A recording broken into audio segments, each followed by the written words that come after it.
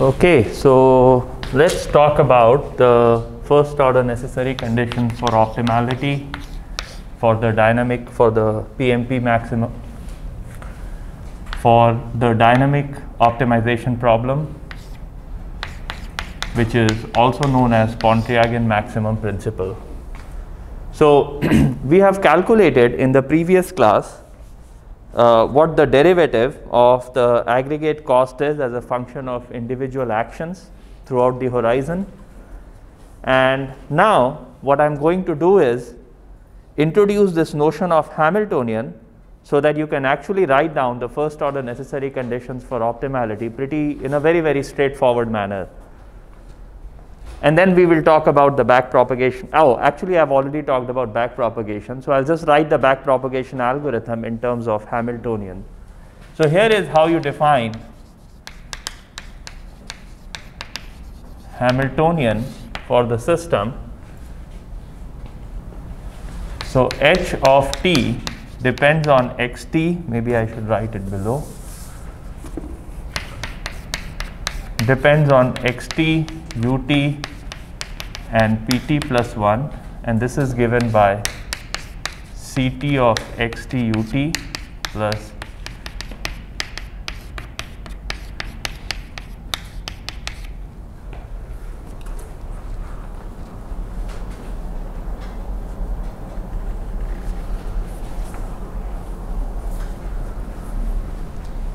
So this is the running cost at time t, the co-state vector at the next time step multiplied by ft.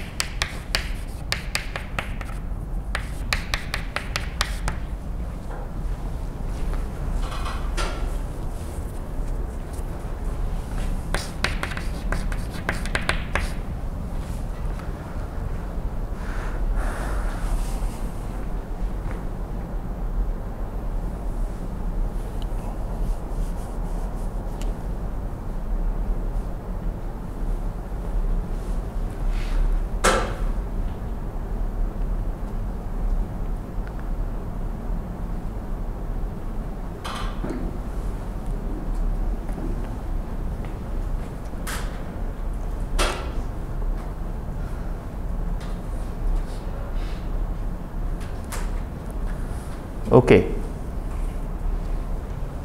So this is the definition of Hamiltonian. It's just like Lagrangian. It's some definition based on the running cost and the state transition function. Now, this is the first order necessary conditions for optimality. Let u star t be the optimal control actions and define the optimal trajectory. This is the optimal trajectory. So when we say trajectory, it's usually trajectory of the state and when we say action, it's just the action. So I have u star t which is optimal action, x star t which is the optimal trajectory. Then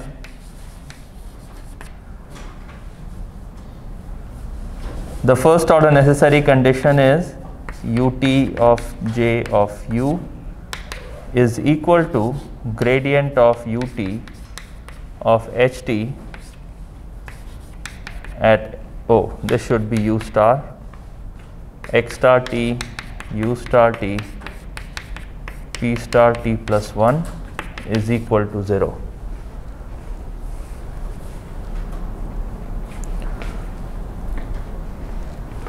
where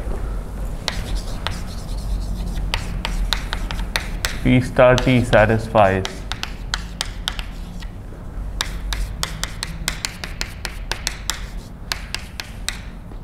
X.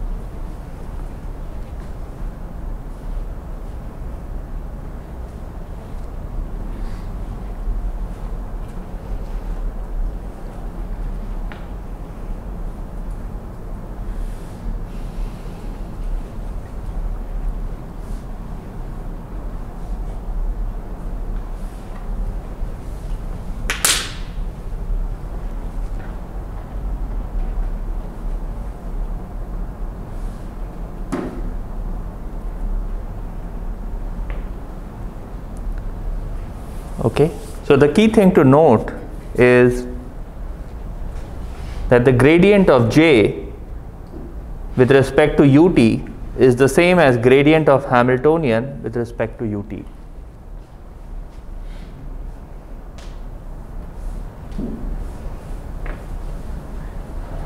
Okay.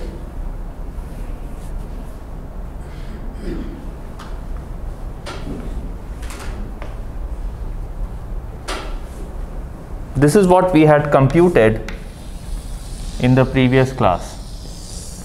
This is where we ended the previous class. And now all we are doing is saying, well, the gradient of u of j should be equal to 0. But because this is equal to the gradient of Hamiltonian, we just require the gradient of Hamiltonian to be equal to 0. And then the update equation for the co-state vector can be given by the gradient of Hamiltonian with respect to xt. Okay, so just be uh, careful. Here I am taking the gradient of ht with respect to ut. Here I am taking gradient of ht gradient of ht with respect to xt in order to define the co-state vector.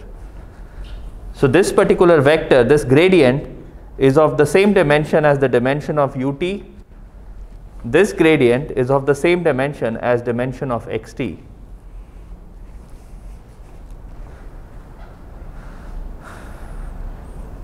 Any questions so far? What's the gradient of Hamiltonian with respect to pt or pt plus 1?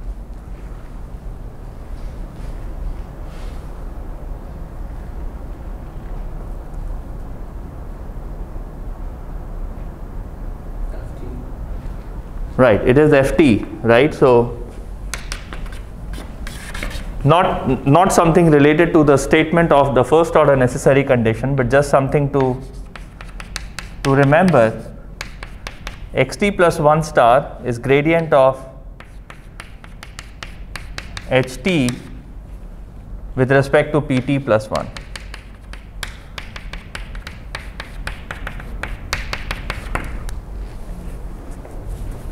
It doesn't affect the result of the first order necessary condition, but actually the, the, the cool thing here is that x star t plus 1 is gradient of Hamiltonian with respect to the co-state vector and co-state vector is gradient of Hamiltonian with respect to state.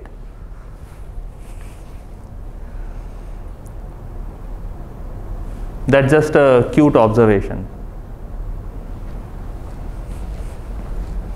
And that also explains the term why it's called a co-state vector, right? So it's like a state vector, but not really a state, so it's a co-state vector.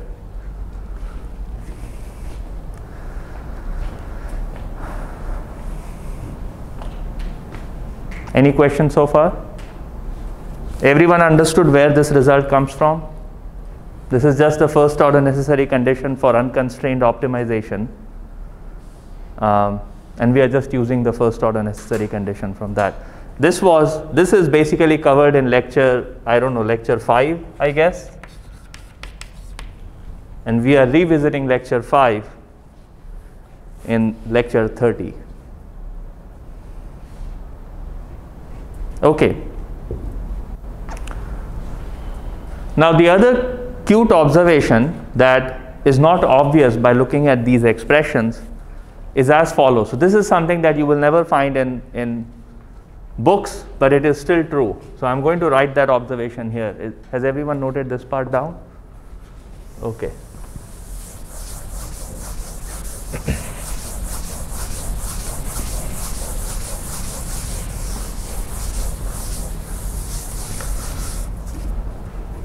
Remember we had talked about the fact that I can look at this optimization over capital T time steps either as an unconstrained optimization which is what we have done so far or as a constrained optimization of this type. I want to minimize j of u with respect to u and the vector x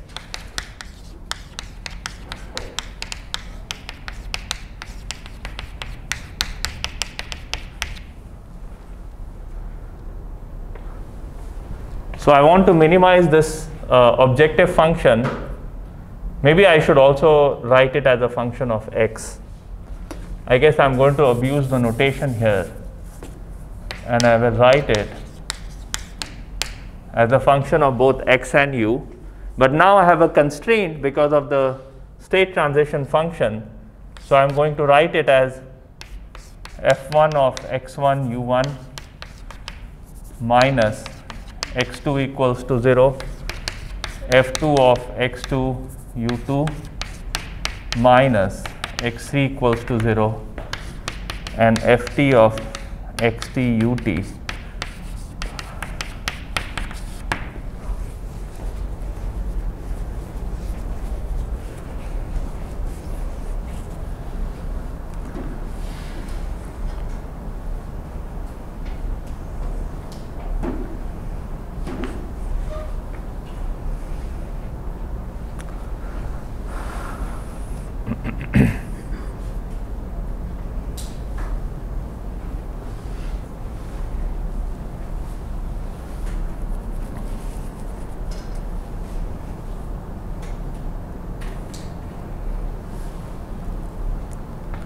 Okay, so all I have done is instead of considering that unconstrained optimization problem that required a lot of, I mean, we, we spent like a couple of lectures on that uh, in order to get to this particular equation. Okay, so we spent a lot of time trying to get to this equation and get to this first order necessary conditions for optimality.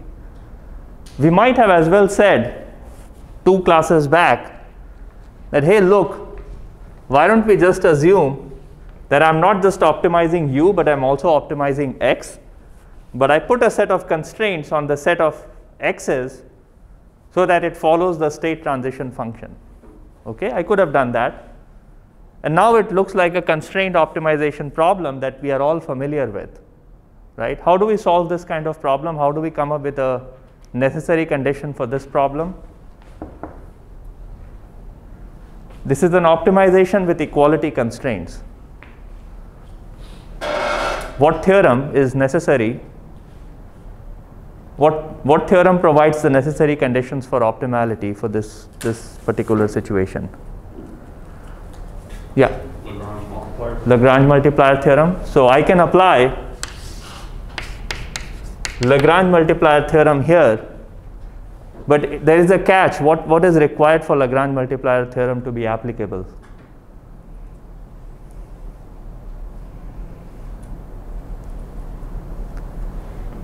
Anyone remembers? If x star or x star u star is optimal and and something.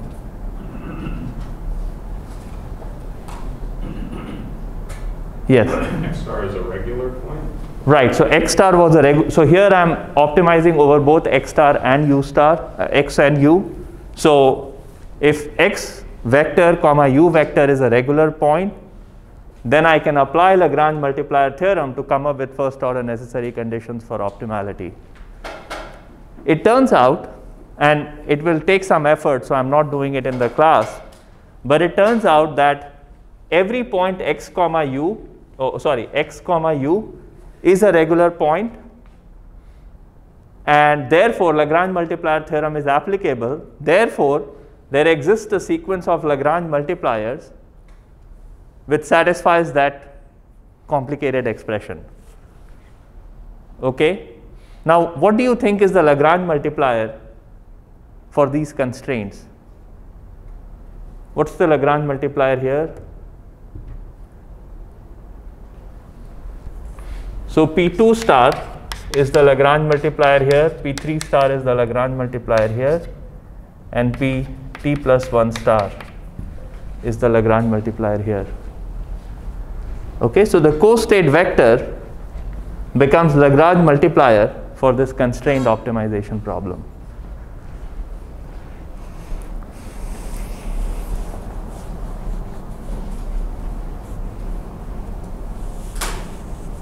So no matter which way we had tried to approach this problem, we would have come to the same conclusion that this holds. Okay, we would have come to exactly the same conclusion except that these co-state vectors would now be Lagrange multipliers rather than co-state vectors. But the values are the same, the assumptions are the same, there's no difference whatsoever.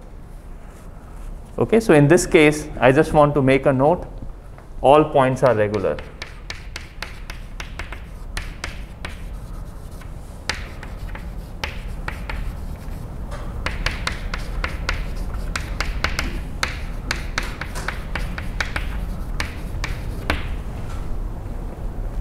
So we can apply Lagrange multiplier theorem.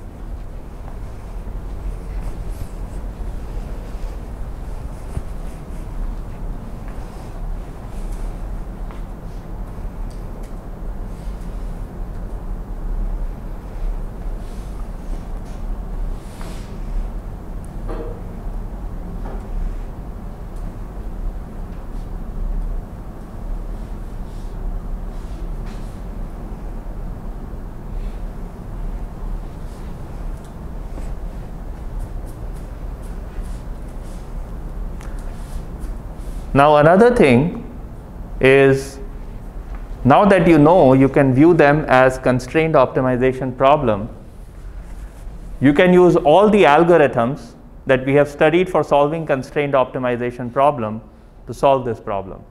Okay? So backpropagation algorithm is just one way to solve this optimize this dynamic optimization problem. That's just there's only one that I mean Backpropagation is just one algorithm. You can apply a method of multipliers, you can apply sequential quadratic programming, you can apply barrier method. No, barrier method requires inequality constraints. You cannot apply barrier method. But you can apply all sorts of methods that we have studied so far for solving this problem, noting that these are Lagrange multipliers in, in if you view it as a constrained optimization problem. So just something to uh, think about that the whole world of algorithms is now open to you once you recognize this fact. You, you're not slave to backpropagation algorithm. You can do whatever you want for solving this constrained optimization problem. You know what I do not know? because I have not done uh, too deep of a study for this class of algorithms, what I do not know is if you look at the training for neural networks, the first algorithm you learn is backpropagation algorithm.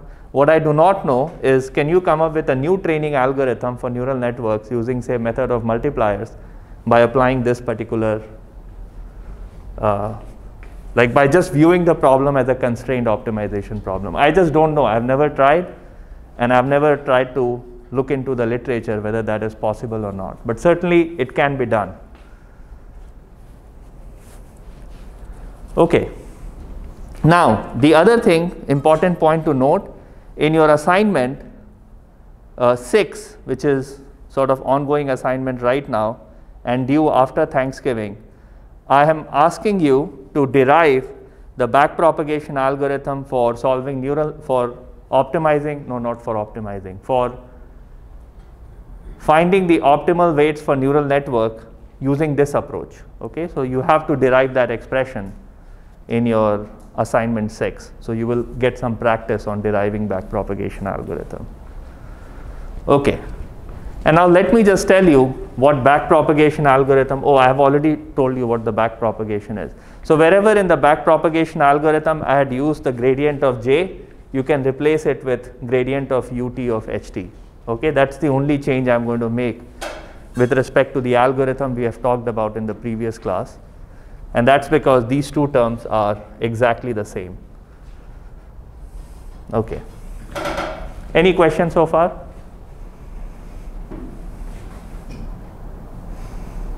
Okay. All right. So if you work on real-time optimization in any system, whether it's a vehicle, whether it's a building, whether it's a rocket, you are quite likely to use the backpropagation algorithm we just talked about.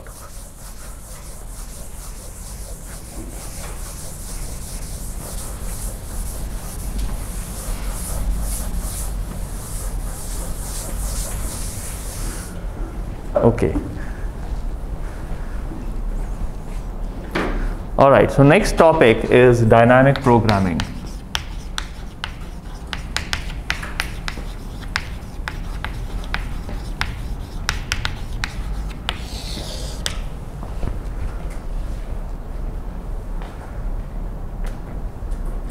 So dynamic programming is actually, uh, let me start with a very simple thought experiment. I have a point A, I have a point B, and it's a two-dimensional plane, and I want to go from A to B, covering the shortest distance. What is the shortest distance between A and B? Straight line. So this is the shortest distance. Okay, so visually, I know that this is the shortest distance. This is what we have studied in our high school, and it turns out to be true. Now let's look at alternate paths from going from A to B. So I can take this path, I can take this path. It looks like an ice cream now. Uh, so I can take multiple paths to go from A to B. Um, what exactly is very special about this path which is not special about these two paths like some property that is satisfied by the first by this particular path the straight line path in comparison to this path and this path. What's that property? Okay so go back in 1950s and ask yourself this question. What is so why is it that this particular path is optimal, whereas this path and this path is not optimal. So let's try to continue with this thought experiment. Why is this path optimal? So let me pick some points along these paths.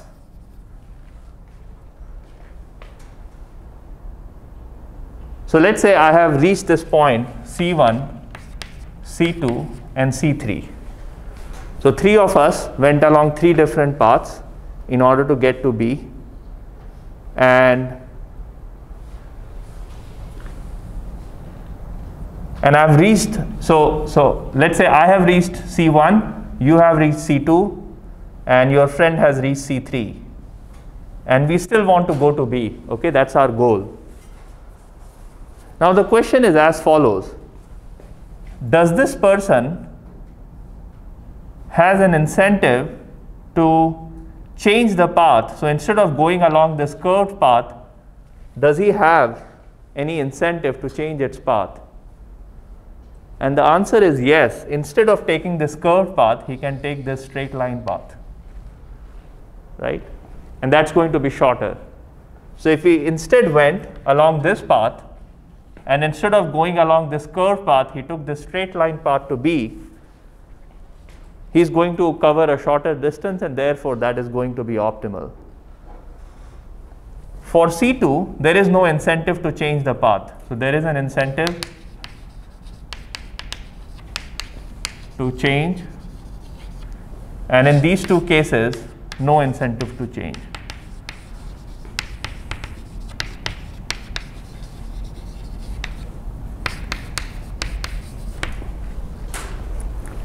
right? All of you agree with it?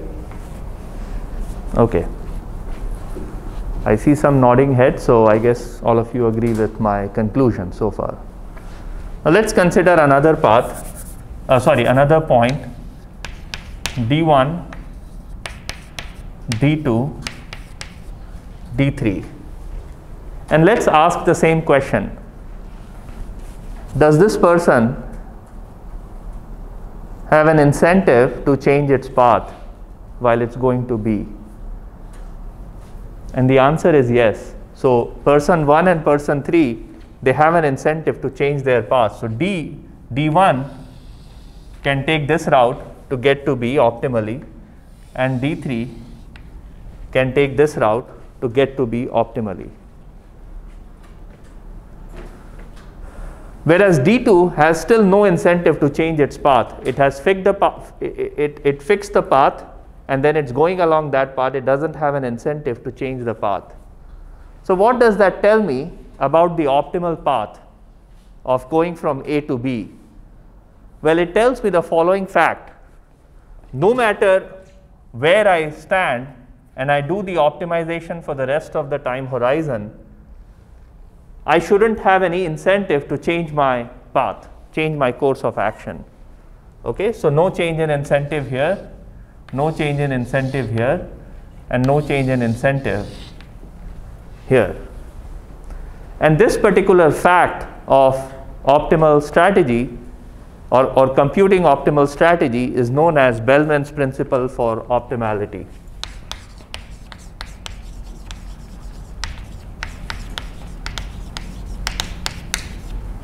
Bellman's principle of or for of optimality.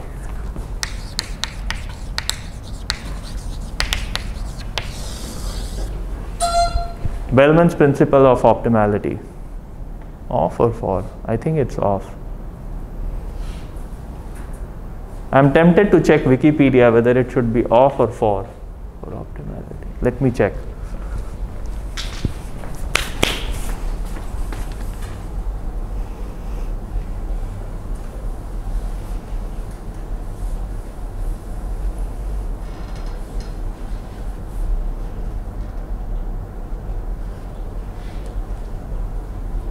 Of optimality. Okay, so I've written it correctly. Okay, so what is Bellman's principle for op of optimality? So I have a dynamic optimization problem. And I have the strategy or control policy.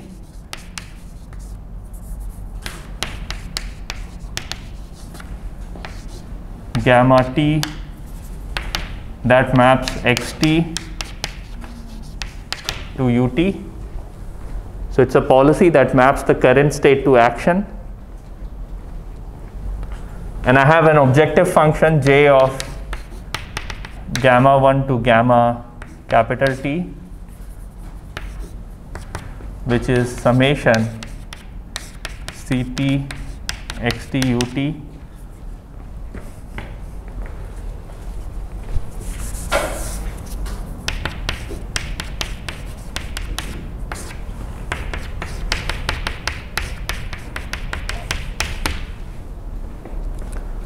or I, maybe I shouldn't write it here. I should write it as gamma t of xt. So that's my objective function that I want to minimize by picking an appropriate control policy. Control policy is sometimes called, this kind of policies are sometimes called feedback policies or feedback control or control strategy. So all of these are equivalent names for this map.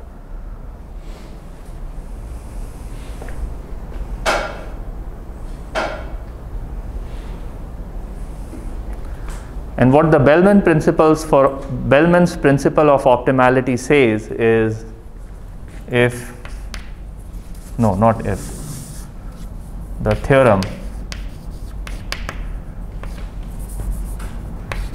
gamma 1 star to gamma t star is optimal if and only if the truncated policy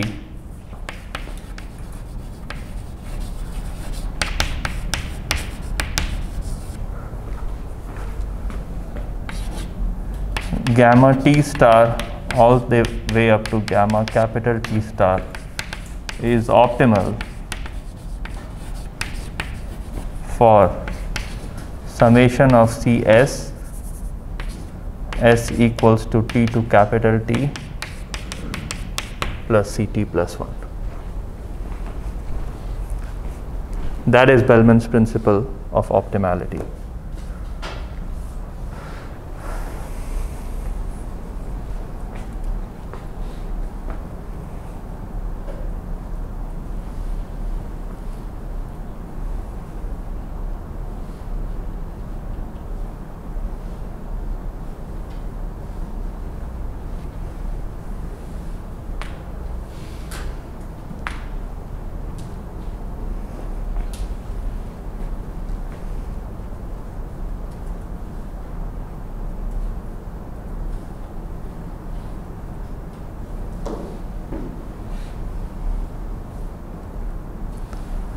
Okay.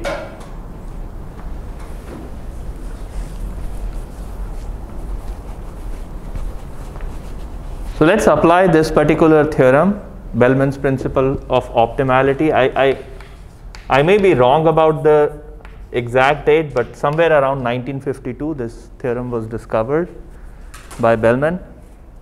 And actually, before 1952, this exact theorem was discovered by Isaac in 1949 in a confidential note.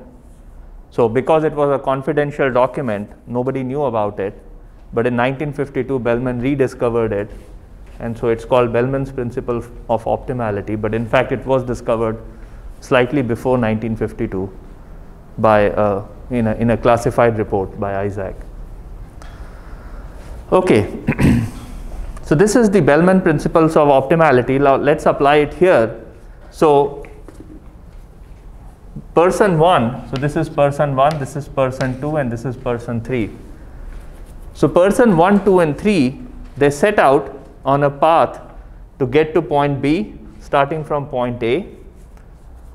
And they all figured a policy, control policy gamma t, which suggested that they should take this route. So person 1 should take this route, person 2 to sh should take like the straight line route, and person 3 should go to some intermediate point and then go to B.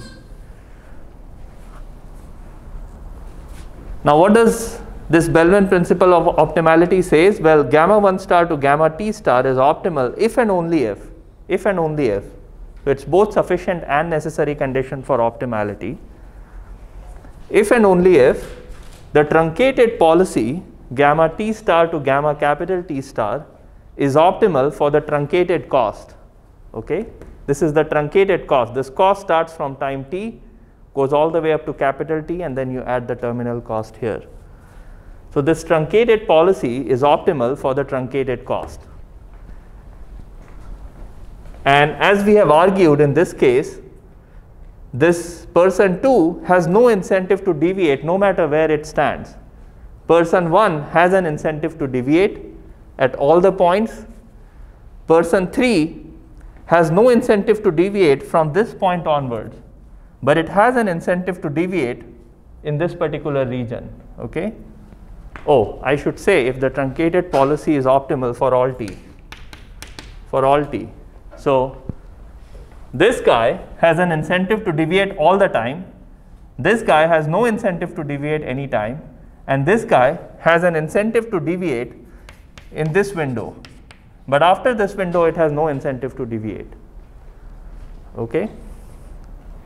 So, therefore, path 1 is not optimal, path 3 is not optimal, but path 2 is optimal because there is no incentive to deviate no matter what. Yes, please. We just let t is equal to 1, but that cover all the xt is equal to? No, in theorem. Right. Yeah, you want to this to hold for all t. For all t and for all xt for all xt because you can start from anywhere at time t. You can start from any point in the space. So for all xt. Commit that t is equal to 1. That means that the whole. That's right. That that's true for that that is basically that's how the opposite way is proved because if it holds for all t then in particular it holds for time t equals to 1. So that part is easy. The other part is difficult. Okay? And we are not going to do the proof in the class but the other part is where most of the difficulty arises in proving the result. Okay? All right now let's let's dissect this particular theorem a little bit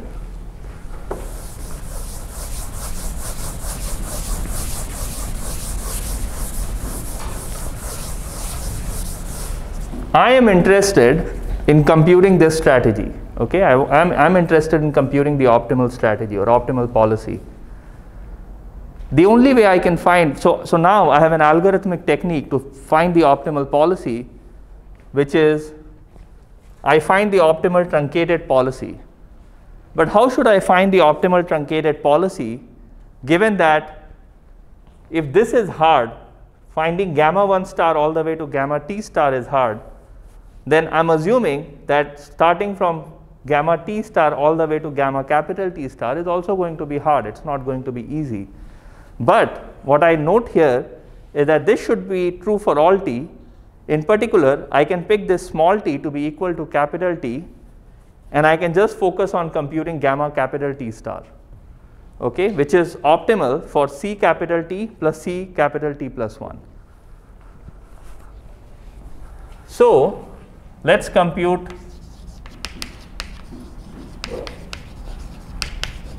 gamma capital T star first.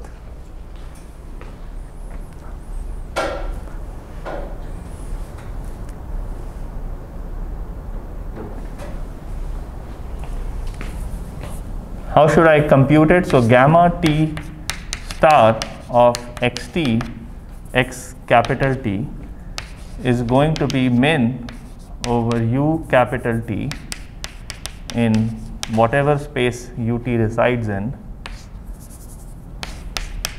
c capital T of xt ut plus c capital T plus 1 f capital T xt ut.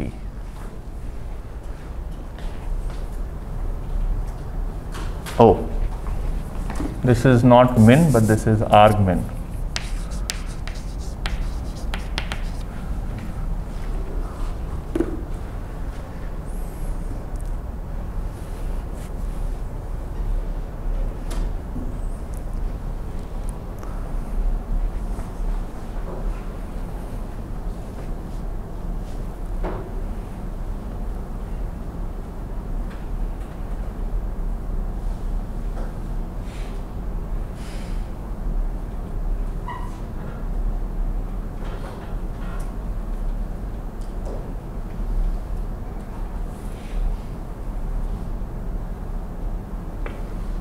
Okay, so I look at the truncated cost at time t and t plus 1 and I substitute x capital T plus 1 with the state transition function. So now everything is in terms of xt and ut. I do the argmin and I get gamma star, gamma t star as a function of xt. So I have computed gamma star t, gamma star capital T. Now this theorem suggests so and, and, this was easy by the way. This is this is this looks very fairly easy to to do to solve. So now let me i'm, I'm very encouraged by this this idea. So instead of looking at because i have to solve it for all t let me now look at capital t minus 1 but now the question is i have to compute gamma star capital t minus 1 and gamma star t together and that's a bit of a problem because I can't compute two different policies at the same time. So what should we do? How should we compute two different policies? So I've already computed gamma star t. Now I want to compute gamma star t minus 1. But but then this says that that should be optimal for the rest of the rest of the for the truncated cost function. So here is an idea that we can apply. Let me store the minimum value of this optimization as a function v capital T of xt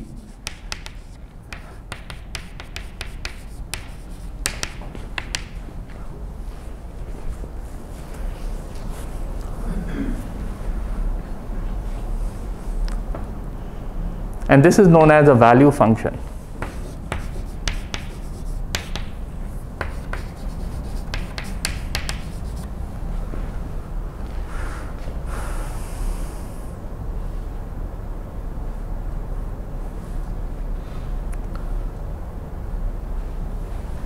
So I computed the argmin, I stored it in gamma star, I computed the min, I stored it in V sub V capital T. Now computing gamma star t minus 1 is easy because I can do argmin of ut minus 1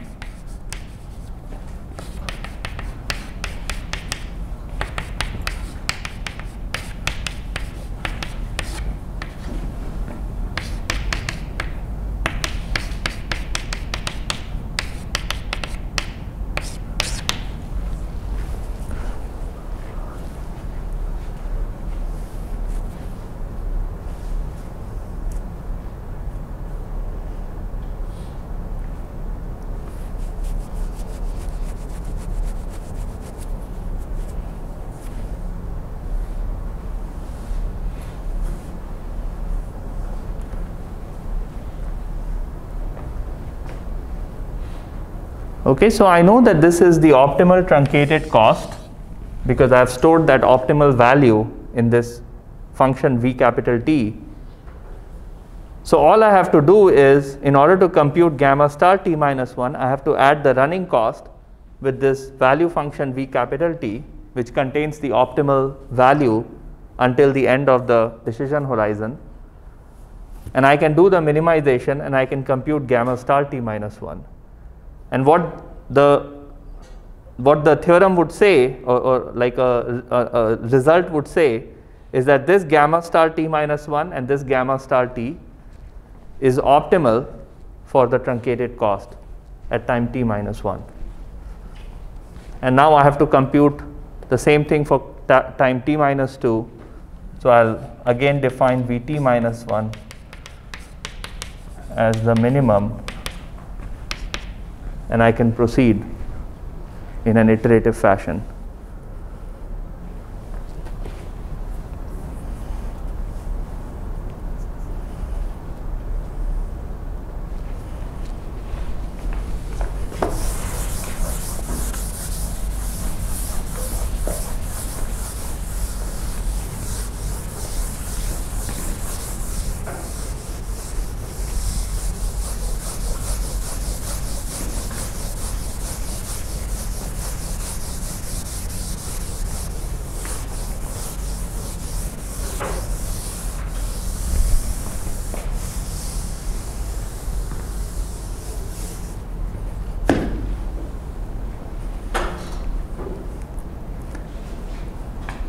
Okay, so iteratively, what you do is you define gamma t star of xt as argmin of ct plus vt plus 1 and then vt of xt would be min of the same function.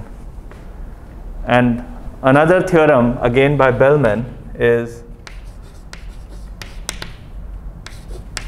gamma t star gamma capital T star obtained using above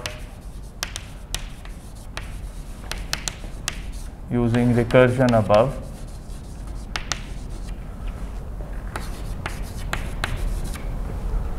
Is optimal for summation Cs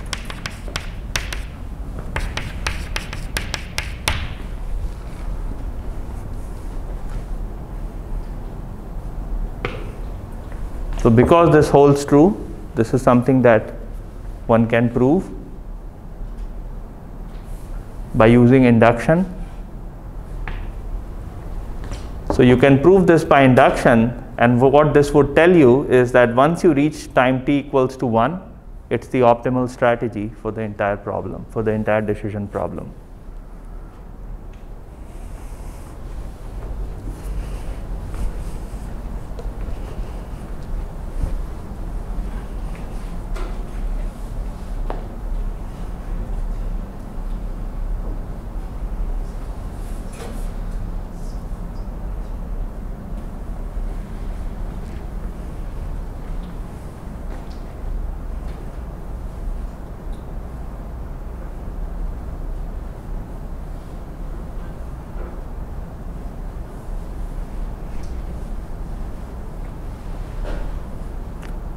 Okay, so this leads to what is known as the dynamic programming algorithm. So in dynamic programming algorithm, you start with a terminal time, capital T, and you do the, you conduct the optimization for the capital T step. Then you go back one step, okay, it's a recursive scheme, you go back one step. This Vt, which you computed at the terminal time step, now appears in the new optimization problem you are solving at time t minus 1. Okay? And the same thing you computed V capital T minus 1.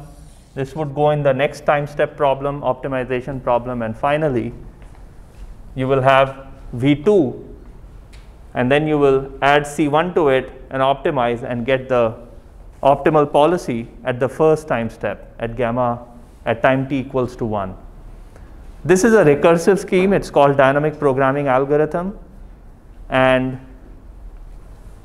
and it computes the optimal solution, optimal control policy for the dynamic optimization problem that we started with.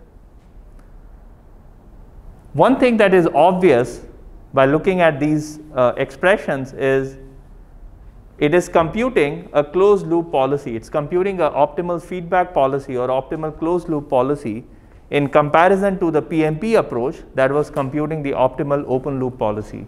It was computing U1 star all the way to U capital T star, whereas this one is computing gamma 1 star all the way up to gamma capital T star. So why wouldn't someone want to use this algorithm? Why don't we launch rockets using this algorithm, why do we use PMP, uh, Pontryagin maximum principle, for launching rockets into space? What's the trouble with this algorithm? This seems to be pretty sophisticated and is able to compute the optimal policy. Why should we not use this?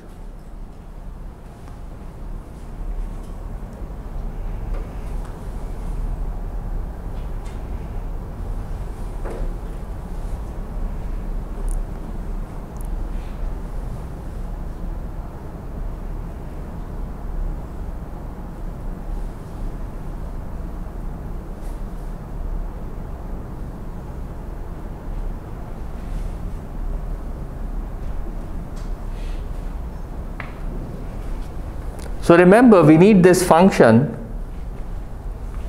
to use here, right?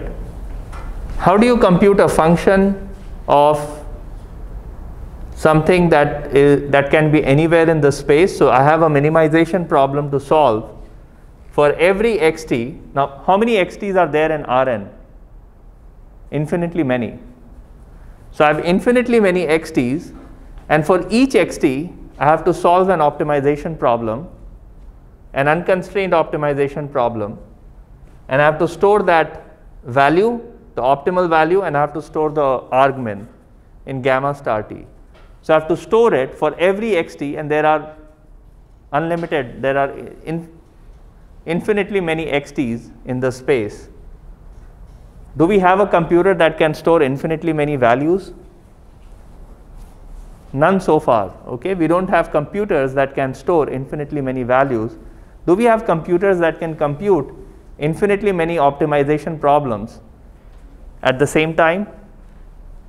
No, we don't have any computer that can solve this argmin for every value of xt um, and store it in terms of gamma t and vt. So we don't have a way to solve this problem unless the number of states is finite, unless you are looking at only finite state, finite action problem then doing this recursion may make sense. It may still be very complicated, but it will still make sense. But when you have infinitely many states and infinitely many actions, doing this optimization will take a very, very long time. Uh, sorry, I shouldn't say solving the optimization problem. You can never solve the optimization, but you can at least approximately solve the optimization. But even that approximate solution will take you hundreds of years to compute for a reasonable problem. So what should we do? Uh, what that means is this algorithm, even though conceptually it is elegant, it's going to give me closed loop solution. It just turns out that it is infeasible to implement this algorithm on a modern computer because of these reasons, because we cannot really solve the argmin for so many states and do the same process again and again for, for all the way from starting from capital T all the way to uh, time t equals to 1. So if you're launching a rocket in the space and your capital T would be of the order of 1 hour or 2 hours and let's say you are optimizing, you're sending commands to the rocket engines every 1 second, uh, you have like 7200 time steps. Capital T is 7200. So I have to solve this problem 7200 number of times in order to compute the optimal strategy, optimal policy. And that's why you cannot use it for launching rockets because it's very complicated. Okay? Implementing this algorithm in real time in embedded systems is very complicated. So what we are going to do next, now that we have learned about dynamic programming, is I'm going to solve a simple problem using dynamic program, maybe a couple of simple problems. In, oh, Wednesday's class is not there because you have midterm on Wednesday. So on Friday, I'm going to uh, solve a couple of simple problems using dynamic programming to show how you can apply it for simple problems. And then in the next week and the week after that, we are going to spend a lot of time talking about approximate dynamic programming, which is a class of algorithms which tries to simplify the dynamic programming problem so that you can actually implement it in real world systems. So we'll talk about those problems in the subsequent classes. Thank you. And uh, best of luck for midterms.